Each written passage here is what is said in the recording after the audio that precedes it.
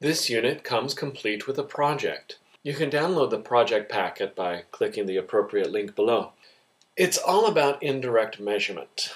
Now, one of the things that you're going to need in order to get an A on this project is an inclinometer.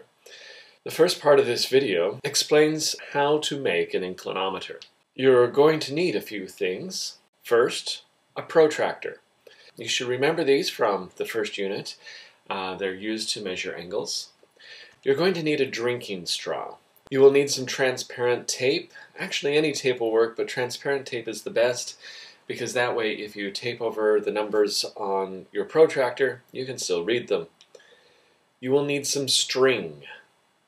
And finally, you're going to need some good weight. Now, that weight can be in the form of nuts, bolts, washers, coins. Just make sure that it's heavy enough to weight the string. Okay, how do you make an inclinometer? First, you want to attach a length of string to the protractor so it can move freely from the vertex point. Now remember that vertex point is that point where the vertex would go if you were measuring an angle.